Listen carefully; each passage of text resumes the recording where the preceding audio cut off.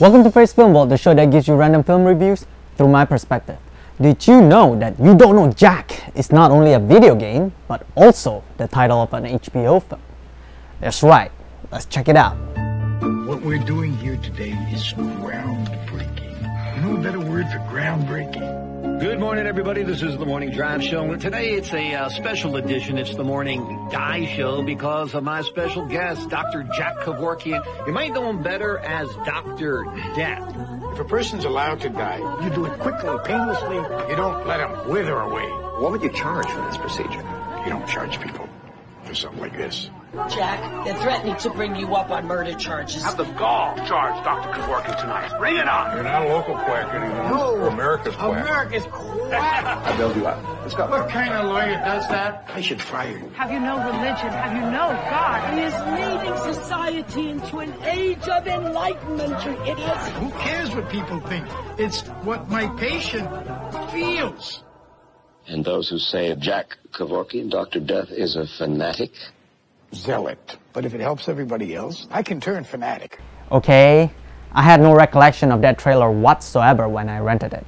All I remember was that I did watch the trailer at some point but couldn't really remember what the story was about except for the fact that it has a catchy title and stars Al Pacino, which to me was good enough for a viewing. You Don't Know Jack is a drama based on the true story of Dr. Jack Kevorkian's controversial practice in helping his terminally ill patient commit suicide. Morbid, I know. Sounds like a mad doctor from a 50s film. And this film is trying to tell us the reason behind the so-called madness. It's directed by Barry Levinson, who hadn't done anything good in the past couple of years.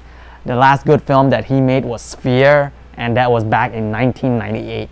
It stars Sir Al Pacino, of course, John Goodman, Susan Sarandon, and Danny Huston. A pretty good cast, in my opinion.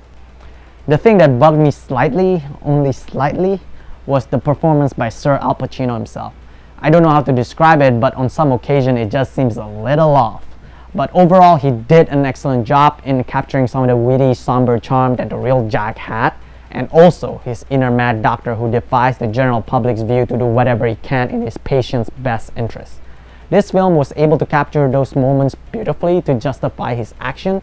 I got all teary-eyed when they started showing some of the footages from his terminally ill patient, up to the point that I started wondering if that was the actual footage or just a reenactment for the film. If it was the latter, then damn, they were some pretty good actors. The story of his action and the consequences that that brought him are the main driving force of this film, and the fact that this actually happened in the 1990s elevated my interest even more. I was drawn to his journey all the way till the end. I'll be one of the first people who admits that I don't know if his action is right or wrong since I've never been in those situations that his patients were. And this film really showed me a very realistic perspective on how it is to be in their shoes. Therefore, I'm going to give this film a good. But please understand that this is a good that's not for everyone because the underlying content of this film is not for the lighthearted. Dr. Jack Kevorkian appears at the courthouse locked in an old-fashioned wooden pillory. Wait, what law have I broken? Can we all- me. I will Go ask ahead. the question, I'm sir. Smart ass. It's on your mind, Jack. I'm thinking of the Supreme Court. I'm thinking of going all the way. I don't know about the law either, but I know when I'm watching a train wreck. You need people that you can trust. And the only way people trust each other is if they know each other. And nobody knows you. Nobody. Jack, you can't kill someone on national television. Maybe this isn't such a great idea, Doctor. These are my decisions to make. Mine alone.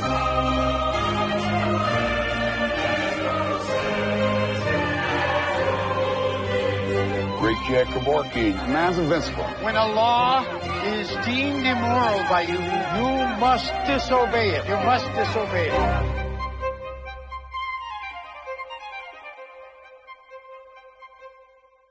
And that is that. Another journey with your host who's in desperate need of a haircut is coming to a close.